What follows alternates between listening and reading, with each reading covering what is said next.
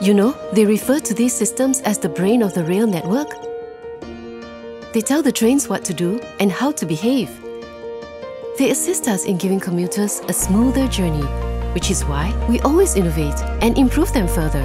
This keeps me going, as is the ideal combination of engineering and the human experience to help us all connect.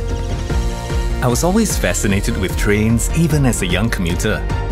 I decided to join the rail industry so I could contribute to an essential daily service that the public relies on. I mean, the trains we power move millions of commuters around daily. That is a huge responsibility. We constantly work on railway engineering to enhance the performance and reliability of our fleet, which is precisely what I hope for as an engineer. We study innovations and implement them to launch newer, better trains. All to create better journeys, rain or shine. Just imagine, our rail network is growing. New lines are coming up. And that means more and more of what we do here helps bring more of us together. Using new technologies such as data analytics, we strive towards more reliability as we enhance and expand our network to international standards.